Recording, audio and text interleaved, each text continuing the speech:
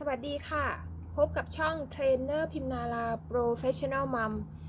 วันนี้เราจะมาคุยกันถึงเรื่องความคิดสร้างสรรค์ของลูกที่เราจะดึงออกมานะคะ ไม่ว่าจะเป็นน้องที่ปกติ หรือว่าไม่ว่าจะเป็นน้องที่เป็นเด็กพิเศษนะคะ ทุกคนจะเป็นโฟกัสกับการฝึกการเข้าสถาบันเพื่อฝึกหรือไปหานักเชี่ยวชาญ เพื่อฝึกพัฒนาการลูก แต่ความจริงแล้ว ส่วนใหญ่ทุกคน จะมองข้ามอะไรที่เริ่มต้นได้ในครอบครัว กิจวัตรประจำวันเนี่ยค่ะ เอามาใช้ประโยชน์ได้ดีที่สุด อย่างวันนี้ริมจะยกตัวอย่างให้ฟังให้ดูแล้วก็พร้อมกับวิดีโอที่เป็นวิดีโอที่เราไม่ได้เราไม่ได้แต่งเราไม่ได้มีสคริปต์อะไรเลย แต่เพียงแต่เป็นกิจวัตรประจำวันจริง ๆ ที่เราทำจริง ๆนะคะ วันนี้ดิมได้ทอดปลาให้ลูก เนี่ยค่ะทอดปลาให้ลูก แล้วก็อของทอดเด็กก็ชอบเนาะ แล้วก็ที่บ้านเรามีอะไรก็เอามาเป็นสื่อการฝึกลูกได้เลย ฝึกแบบเเขาไม่รู้ตัวว่าโดนฝึก อันนี้คือการใช้ชีวิตจริงค่ะ แล้วก็เราจะมีผักผักเคลนี่เราก็ปลูกขึ้นเอง อันนี้ก็สืบเนื่องจากเป็นกิจกรรมให้ลูกในการปลูกผัก แล้วก็น้ำสลัดอันนี้ทานไปแล้วเหลือแค่นี้ คือเป็นเรื่องจริงจริงๆที่เราทำจริง ๆ ที่บ้าน แล้วนี่คือซอสพริกเพราะน้องชอบกินซอสพริก ค่ะ ก็คือเราอยากให้ลูกเจอกับสภาพแวดล้อมเดิมๆ อาหารเดิมๆ กิจกรรมเดิมๆ เพราะลูกจะเบื่อและต่อต้าน วันนี้นะคะ มื้อเช้าของลูกก็จะเป็นง่ายๆค่ะ ที่เรามีไม่ต้องทำอะไรวุ่นวาย เป็นขนมปังนะคะ ขนมปังเนี่ยเป็นขนมปังปิ้งโฮวีตปิ้งไม่ไม่ให้ดำนะคะ ให้เป็นสีประมาณนี้เพื่อประโยชน์ของลูกนะคะ แล้วก็เนี่ยค่ะ แล้วก็ปกติเราใช้ใช้ช้อนใช้ซ่อมใช้มีด แต่เราก็เปลี่ยนแปลงให้เขาใช้วิธีการสัมผัสเยอะขึ้นเพื่อจะได้สังเกต รายละเอียดของการทอดปลาเราก็จะโรยงา ไปด้วยเพื่อได้สารอาหารได้รสชาติ แล้วก็ได้การสังเกตของลูกและลูกก็จะมีการพูดคุยกับเราว่ามามีใส่อันนู้นด้วยเหรอมามีใส่อันนี้ด้วยเหรออะไรเงี้ยเหมือนที่น้องฟอนมาถามเรียมว่ามามีใส่งาด้วยเหรอปกติจะเจองาในเบอร์เกอร์นะครับอะไรเงี้ยเออลูกก็จะได้มีปฏิสัมพันธ์กับเรา ลูกก็จะได้มีความคิดสร้างสรรค์ว่า ทุกอย่างมันไม่ตายตัว ทุกอย่างมันจะ จะเกิดขึ้นได้หมดถ้าเรามีความคิด เพราะฉะนั้นวิธีการฝึกลูกเอง มันไม่ใช่อยู่ในตำรานะคะ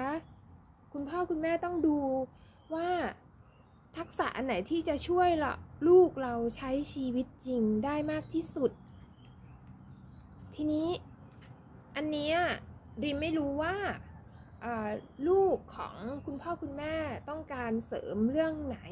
แต่ดีมจะมาถ่ายทอดทุกอย่างที่ดีมดูแลลูกนะคะ ให้คุณพ่อคุณแม่ได้ได้ได้ดูแล้วก็อาจจะดูเพื่อความเพลิดเพลิน หรืออาจจะดูเพื่อเป็นไอเดีย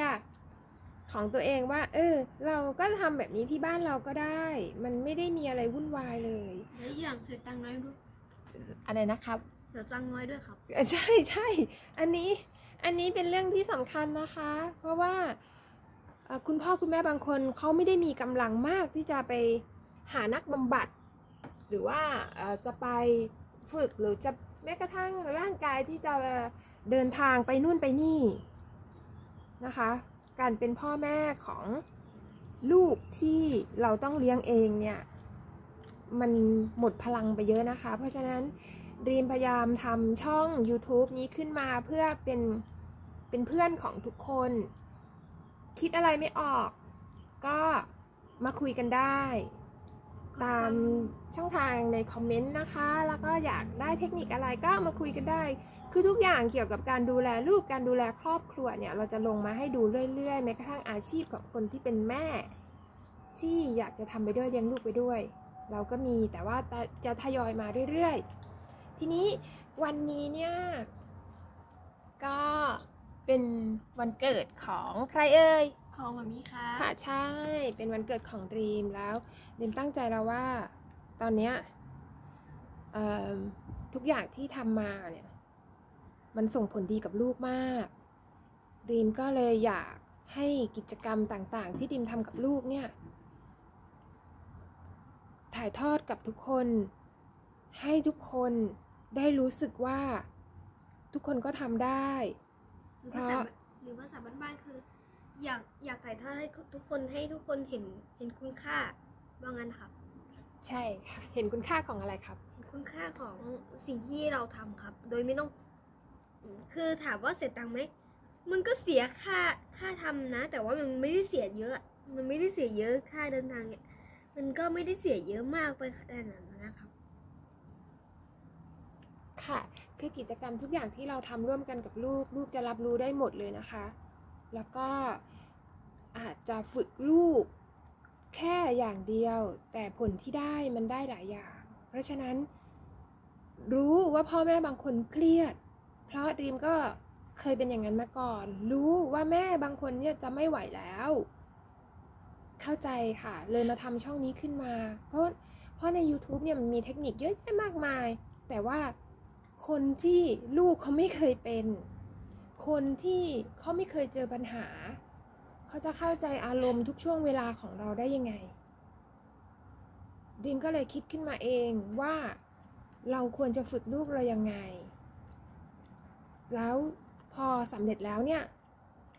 เราจะทำยังไง ให้คนที่เคยเครียดแบบเราเนี่ยเขาดีขึ้น ให้คนที่เขาเคยคิดเรื่องค่าใช้จ่ายว่าเป็นเรื่องใหญ่ ให้เขาได้รู้สึกผ่อนคลาย เพราะดีมเองก็เหมือนกัน เพราะฉะนั้นวันนี้เป็นวันเกิดก็ขอของขวัญวันเกิด เป็นการกดไลค์กดแชร์ และให้กำลังใจเพื่อ เป็นพลังที่จะทำคลิปดีๆ ต่อไป รับรองว่าในคลังของครอบครัวรีมเนี่ยยังมีอีกเยอะ เรื่องที่ทุกคนไม่น่าเชื่อว่าเราจะทำได้ แต่เราได้ทำมันเกิดขึ้นแล้วด้วยวิธีการง่ายๆ นิดเดียวค่ะสำหรับวันนี้ก็ขอบคุณ ว่าไงครับ ก็คือสำหรับวันนี้เนี่ยก็ ก็ขอบคุณที่รับชมด้วยนะครับ ก็ฝากเป็นของของวันเกิดแค่ เพียงคุณกดไลค์ให้กำลังใจนะครับ กดแชร์ให้คลิปอื่นๆเนี่ยได้รับชมให้คนอื่นๆเนี่ยรับชมด้วยนะครับ แล้วก็กด subscribe นะครับให้คุณจะได้ติดตามเรา เราจะได้ เวลาเราลงคลิปใหม่ๆ ทุกคนจะได้เห็นครับสำหรับวันนี้ก็สวัสดีครับ สวัสดีนะคะ